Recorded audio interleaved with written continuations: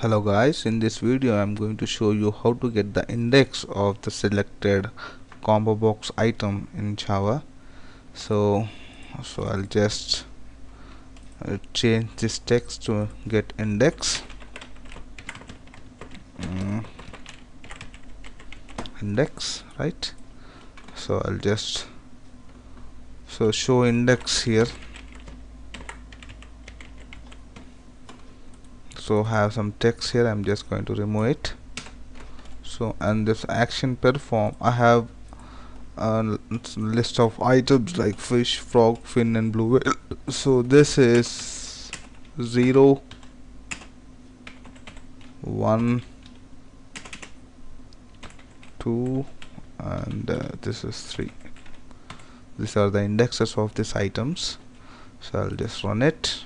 Open so I haven't written any code on the get index here. So combo box so show index text dot set text combo box dot get selected index. So by default the get selected index returns int value so we need to convert it string dot value of and just paste it here. So this works fine.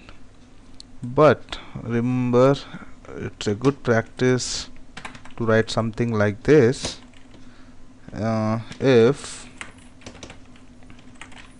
combo box dot get selected index not equals to minus 1 then you can write your code in this. Because when you work with your databases uh, action performs on your combo box it's better to write in this way.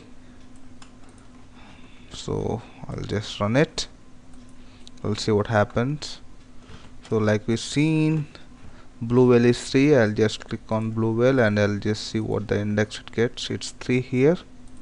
And the fish is 0 and the frog is 1 blue whale is 3 so like this you can get the index of your combo box items.